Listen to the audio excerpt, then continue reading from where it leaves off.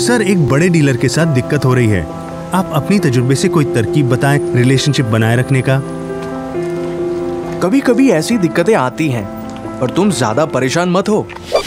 दिशा app के training videos की मदद से तुम्हें सही दिशा मिलेगी।